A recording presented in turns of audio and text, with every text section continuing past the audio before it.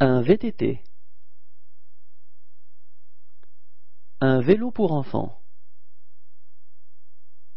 Un VTC. Un vélo de ville. Un vélo de course. Un vélo pliant. Un vélo utilitaire.